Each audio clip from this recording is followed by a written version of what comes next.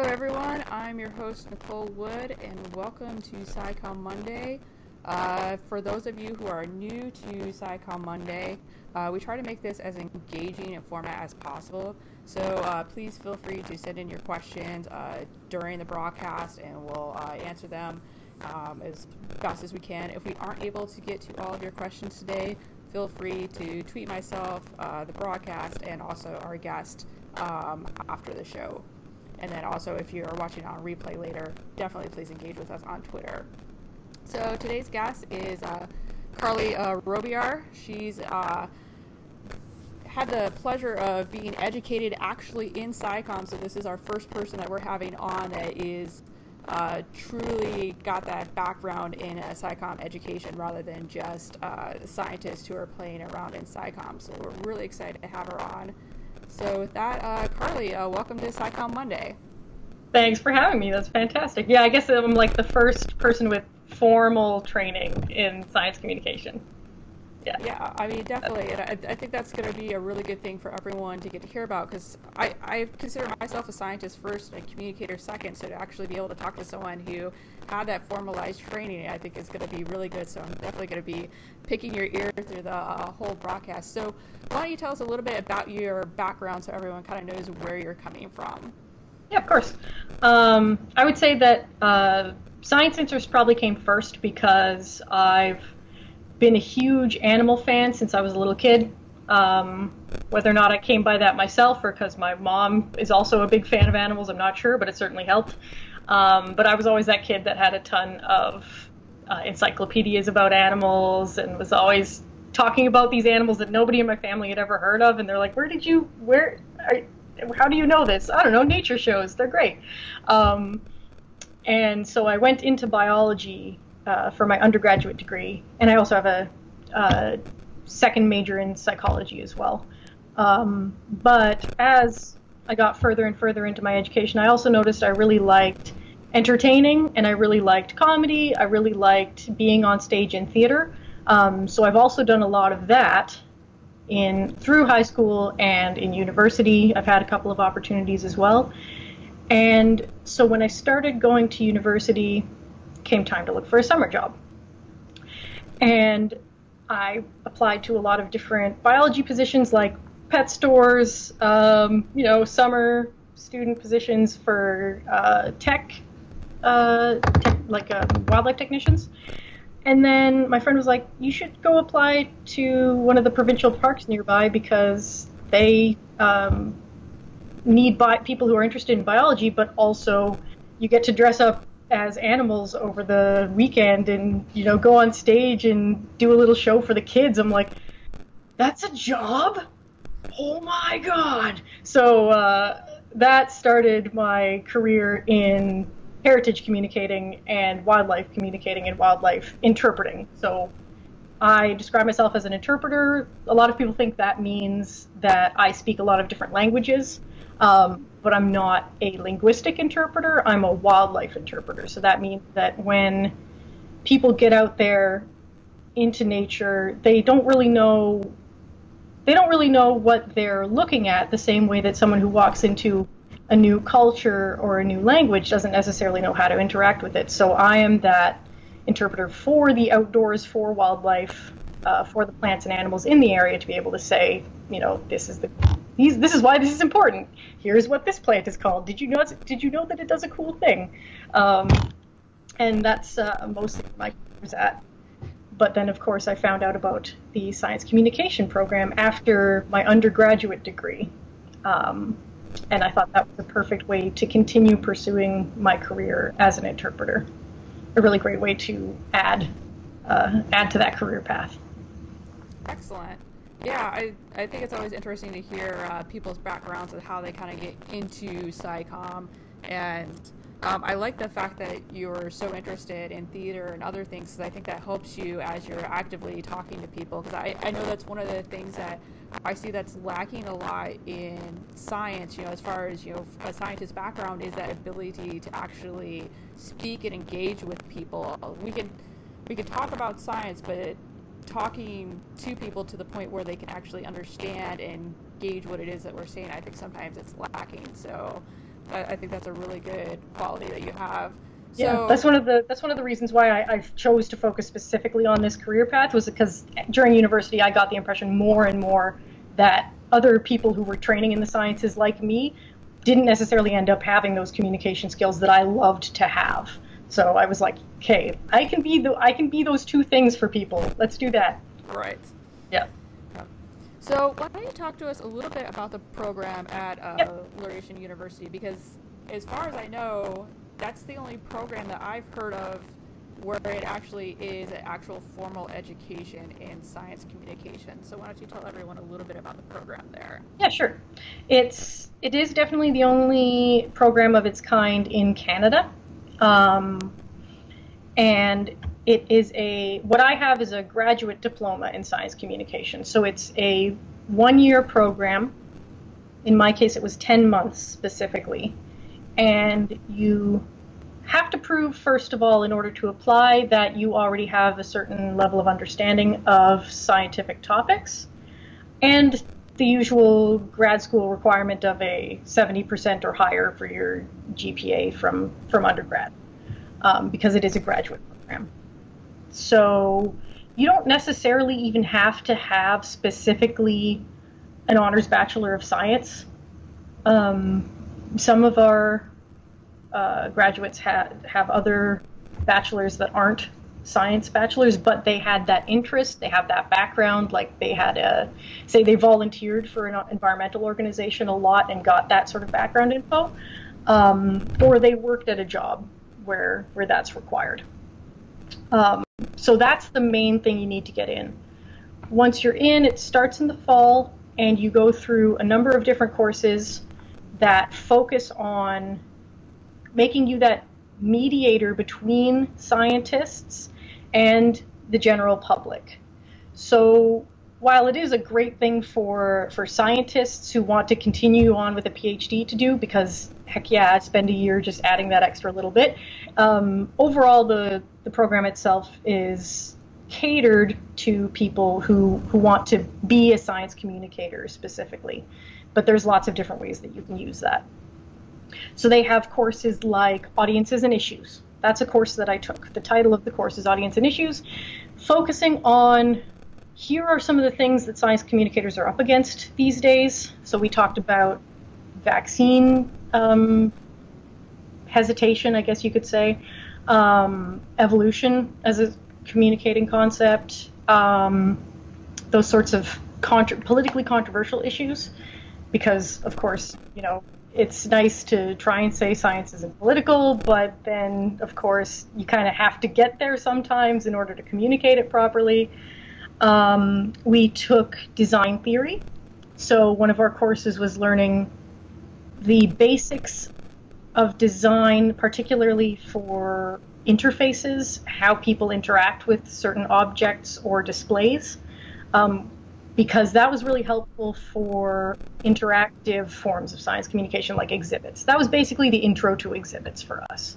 Yeah, I, I think that's really interesting, like those mm-hmm. two courses right there, because I, I, I find that a lot of times scientists, we understand science really easily, but you go just right outside that sphere of you know science influence, and people don't always get sometimes those basic core things, and so to be able to understand what it is you know the knowledge that they're lacking and where we need to like start them at so that way they can understand things i think is really important. I mean just a good example just the other day i was there was a, a guy uh, back in the woods they needed to do some uh, uh, changing of the flow of direction of some water because there's flooding in the town.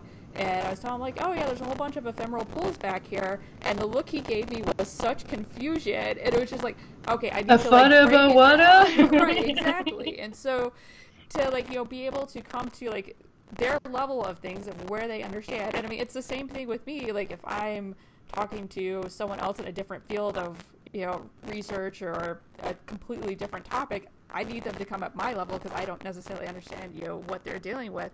And then I think it's really interesting designing those projects so that way they will understand because it's yeah. you it doesn't do us any good if we're designing things just for other scientists to understand like we actually have to figure out how to get that audience to understand. So that's really it can, interesting. It can be really surprising when taking this program uh, to realize how quickly along the path of becoming a scientist you lose that layperson frame of mind and get a completely different worldview just from that basic understanding of the sciences compared to someone who didn't take grade 12 biology, for example, because they didn't have to, right? Right. So. Yeah, because yeah. I, I think of, you know, maybe something like chemistry. You know, I only had to take a limited amount of chemistry, and so anything beyond that I might not understand, or, you know, whatever other topic it is, you know, math or yeah. whatever. Yeah, it's very quickly for you to start losing, and if you aren't using it constantly, too, I think that's also adds on to that. Yeah, absolutely. Um, so I know some of the other uh, classes and coursework in there, there was topics about using uh, new media and using traditional media. So can you tell us a little bit about that? Yep. Uh, and actually, that's those two categories are a little bit different from when I took it. Those are new.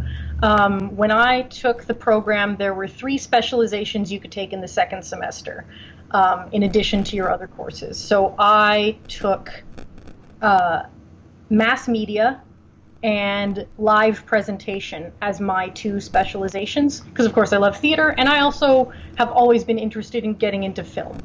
So the mass media was good for the film and journalism aspect and then the live presentation was basically what I do when I'm working in parks and and as an interpreter, basically just talking to people and knowing how to present it well. Uh, but the third specialization is exhibits, uh, which I didn't take a specialization in, but it was a lot of fun for those who did. And that one is still a third option, but the new classification between live presentation versus mass media is journalism and film are now traditional media, and there's new, there's a new focus instead of live presentation on new media.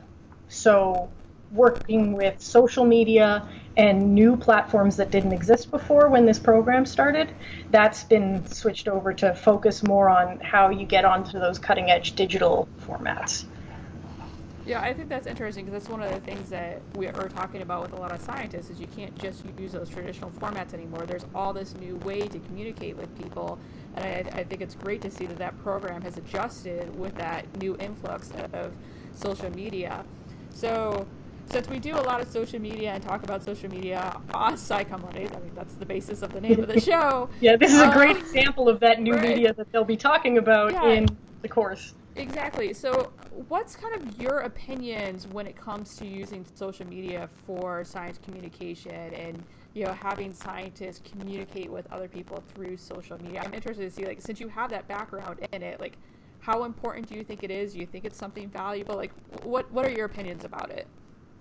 Well, it's definitely valuable because it's becoming more and more the standard way that that the average person is communicating with their friend group and their social group, and increasingly more and more so, even their value sets and you know their their political bubbles and things like that. So it while that means also that it's getting harder and harder to be fair to get to talk to the kinds of people that don't necessarily think to interact with science communication, it's becoming more and more important to at least try um, to be able to get the word out there, I think. And um, it is something we were continuously trying to catch up with in the program, even before we, went back when I was in it, before we had the new media category specifically.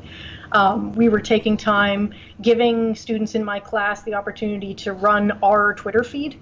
And so the social media for the program itself was run by students to get that practice and to sort of get a sense of uh, how Twitter works, how to use it effectively. Because, yeah, um, being able to communicate on the platforms that people are using every day is one of the few ways that we're going to be able to you know encourage everyday interaction with science communication for those that aren't already doing it because otherwise you're left with books and journalism um, two things that aren't necessarily as engaged with now as they used to be um, i mean i work in a bookstore and it sounds like you know the inter- people's interest in books isn't going down too too much but um, for the younger and younger audiences, it's not necessarily as popular as it once was. So, yeah. Yeah, I'm wondering, like, do you think with the, the newer media that you know social media out there do you think that's going to give scientists a way to be able to talk more directly with audiences and become more engaged? There's not necessarily that filter that it's going to go through like you know via um, different members of the SciComm community. Like it, are, are you know users say like journalists and other folks kind of worried that they might be possibly losing jobs because there is that direct feed, or you know, do you think that maybe they're going to like be encouraging of it because scientists are going to become more fluent in communication? I think there's always going to be an important place for science journalists, and I think that our need for them hasn't really changed. I think there's still um, a deficit in the amount of good science journalists that are out there versus you know what would be nice to have. It may be getting more and more difficult to be able to, what's the word, uh, to have like a steady source of income for them because I know journalism in general is very is changing very much, but unfortunately that particular world I can't speak to as much in terms of formal journalism. Um, but I think that in terms of having a direct line of communication, one on one, absolutely social media is a huge um, benefit to that because I mean there were there was always you know television programs and spots on the news programs and books.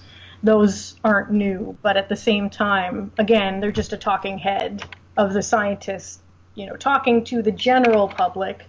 So it's really nice to have social media to show the scientists that direct feedback of hey but what about this and also you know, I don't understand what you're saying with this thing. Can you please explain it?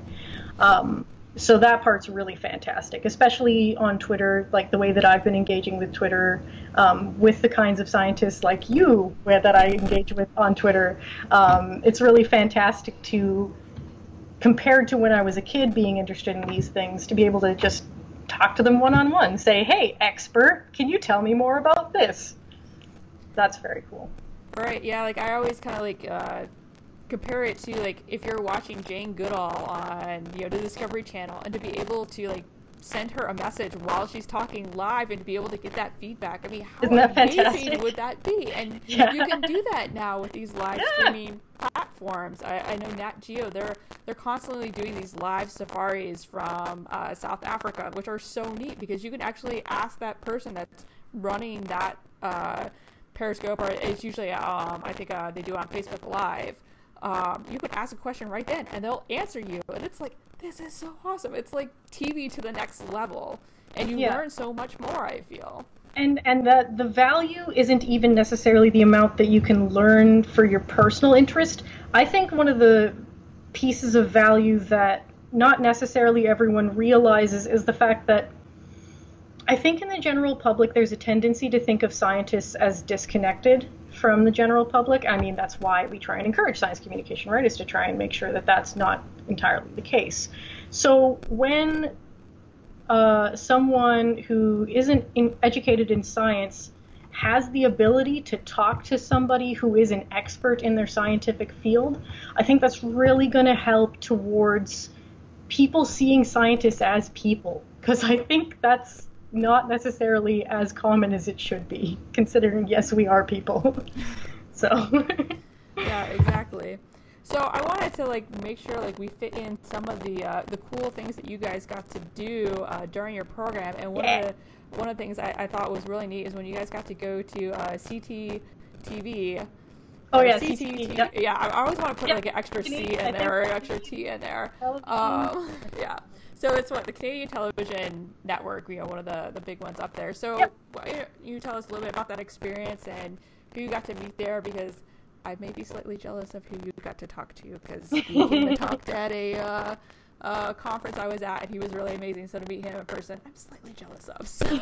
yeah, yeah, definitely going to the set of Daily Planet and being able to chat a little bit with the two hosts. Uh, was fantastic, um, especially when we got to take photos of ourselves on the set with them. That was extra cool. Um, and we, after we watched the process that they went through in order to make a broadcast of Daily Planet, um, which was cool on its own because you start to actually understand what the process is like for doing that. Um, we got to actually go and have a personal chat with the two of them, see what it's like, what their background was, how they got into science communication on television. Um, got to ask their advice about it. Like, you know, if we want to do what you do, what should we do? Um, and for me especially, that was fantastic because again, you know, I I enjoy being in front of a TV screen if I can. Not that that's actually happened, but you know, being in front of people and talking to them about science and why it's so exciting and interesting. Um, being able to have that one-on-one conversation with someone who's made it was fantastic. Yeah, and that was just part of a field trip that we took. So. Yeah, which was great, and I, I love how you guys actually got to see that process in action. And, and Dan Riskin, I feel like he's definitely someone who he's a scientist first who then got into communication or at least that's how like he presented himself uh, when he came and talked at the wildlife society conference and it was just it was really great because he had this really strong science background and then got into all right let's you know showcase science to everyone and it just he seems like he's done a, a fantastic job up there and it, it's like I, I, follow him on twitter and it seems like he's always going all around every place you know talking about science to people and it's it's a really good example of how to properly do science communication. Um, yeah, yeah, and that's per- that's very common for people to start out with that science background and then to sort of venture into the world of being able to talk to people about it is pretty common. And then one of the other uh, excursions that you guys got to take was this lab that was underground. Can you tell us a little yeah, bit about that? A little bit about it, yes. Um, it was a little bit out of my range just because it's a physics lab, and I have to admit I don't know as much about physics and robotics and mechanics as, as I wish I did. Um, but SNOLAB is an underground clean physics lab. And when I say clean, that means something very specific. It means that um, the idea of that particular lab and it being underground is that as you're going in, like first of all, you have to go through the mine to get there because again, it's underground. But then you have to take off all the mining gear that you just put on to be safe underground, and put on these bunny suits, like these white bunny suits, after taking a shower, because you have to go take a shower, and then they like give you this bunny suit outfit to put on because they cannot have any surface land, like any surface world contaminants down there you have to put on different shoes. Uh, so it's all very, very controlled for the purpose of, of properly monitoring um, while eliminating as many variables as possible to get very exact results. Because they were actually like, they were looking for dark matter down there. They like they were getting into some very, very high level um, big questions in terms of uh, astrophysics, um, and so uh, so it was yeah like very impressive to be able to go through that whole process to say wow you do this every day just to go and check your specs like geez um, and it was just fascinating the kind of work that they were doing down there and to think that it was actually the cool thing about it was that it's in the same uh, region like the same town region as our school. We didn't have to go far there to get there. It was just like maybe half an hour out of town or something. So the fact that such fantastic research was being done so close to us was was really refreshing. Yeah, I, that's great. Like I I I have to admit, being a, a biologist slash ecologist, like I always think of you know science and science communication being more on that wildlife kind of spectrum of things. And so it's good that you guys got exposure to other different sciences as well because i think sometimes when you're in your discipline you kind of forget oh there's other sciences out there and we need to learn how to communicate all of them and not just mm-hmm. that one that you're always particularly interested in. That program was good for that. I, I because the people who are taking the program, the science communication program, are coming from all those different backgrounds. We had physicists, we had biologists, we had environmental scientists, all that jazz. Great. Um, mm-hmm. So, last thing I'm interested in is you're starting to do uh, what is it, bird taxonomy, um, and just like, can you tell us a little bit about uh, that and you know the fun that you're having with that? So. Sure. So right now, because I work as a nature interpreter, uh, it's always a seasonal position, pretty much always. So my winters are spent not doing too too much. I mean, I have a part-time job on top of that, but uh, I was starting to miss just doing biology stuff. So one of the things that I've picked up on over the years in biology and in science communication is that it can be a little bit hard to um, maintain collections in, especially in university uh, museums. So I was just sent a sent an email off to the university being like, "Hey, do you need any help with like your specimens or anything? Because I'm bored and miss biology." And they were like, "Sure." Happened to be someone I know that was running the collections, and she was like, "Yeah, okay, come on down and help. We have birds that need stuffing." oh, okay. Um, so yeah, I'm doing that for the uh, zoology department at uh, Lakehead University, where I am. And basically, what they need is for someone to take the donated specimens from, say, FLAP and other organizations that collect birds that were accidentally killed um, with window strikes and things like that, and to put them to good use by making them uh, usable specimens in the museum. So for the labs, like for zoology labs, or ornithology labs that need to take measurements to, you know, get like the tarsus length of a pigeon, okay, um, they they need a physical specimen to do that, and so I've been taking birds that they have in the freezer and turning them into stuffed birds that can go in a drawer, and and uh, and that's been an interesting experience because I hadn't done any taxidermy before. Um, but uh, I I like the fact that I'm able, like I have permission to show the process on Twitter as I'm doing it because I think for a lot of people that is sort of a a gap bridging between uh, between like the biological process of the process of being a biologist and just not having any understanding of what that world is like. Because where, how do you get the birds in a museum? Well, you do this. It's kind of gross, but that's how it's done.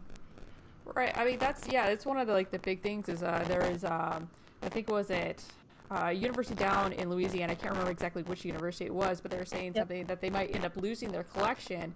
And I think people forget how important these collections are because without them, what do we reference when it comes to learning uh, animals? I, I, know we took a class that was called Nature Study uh, during my undergrad, where it was all just using those uh, museum specimens to be able to learn our birds and other animals. And without them, it would have been so difficult to be able to truly learn them because you need to be able to get up close with these animals. That's kind of hard to do with live animals that you're chasing around out in the field, or if even if you've got your um, binoculars, it's still so much easier to learn those animals if you can actually have them in hand and learn them. So. Yeah, and one of my favorites, this isn't going to be surprising at all, but one of my favorite science communicators is Emily Graslie because she just has done such a fantastic job of advocating for museums and why they do what they do. So hopefully I'm helping a little bit with her process by, by tweeting the taxidermy that I'm doing.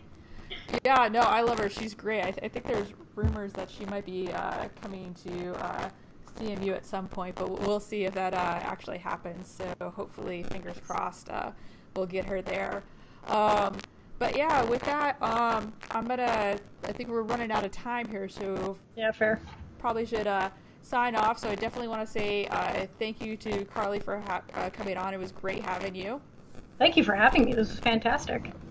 So uh, if you are interested in talking to Carly more uh, feel free to tweet her at uh, InconsiderHat. Um, uh, and then um, if you're interested in talking to uh, me, uh, tweet me at either SciComm Monday or at my uh, Wildlife BioGal handle. Either one is great. And then for next week, we're going to be a little interesting, should be a little fun, but we're going to be uh, talking. Uh, we'll be live from Rutgers University. So I'm traveling to Rutgers. This is going to be a live broadcast, so this should be kind of interesting. So we're going to be doing a, uh, fieldwork live session uh, Monday night Uh, not quite 100% sure on the time yet, so stay tuned because it all depends on weather and everything. But we'll be with Kathleen Farley, uh, Catatarian on Twitter, uh, working with some of her woodcock uh, fieldwork um, in New Jersey. So hopefully the weather holds true for that. And then the next day we'll be broadcasting live from Rutgers University with hopefully a number of different uh, students there, so you get a, a good sense of all of their projects that are going on. And then in case everything, you know, weather and everything else doesn't work out, I'll do uh, an Ask Me Anything before I have to get on the plane. So it'll be earlier in the day. It won't be at our usual 4 o'clock broadcast time because I will be on a plane at 4 o'clock flying from Michigan to New Jersey. So we'll probably do that about 3 o'clock in the afternoon. Uh, stay tuned for actual times as to uh, when that will happen. So with that, I hope you guys all had a great time. Thank you for uh, joining us. And like I said, if you are watching this on replay, feel free to tweet us afterwards. Uh, have a great rest of your day. Um, go out, explore, do some science, have some fun, and hopefully we'll be seeing you next week.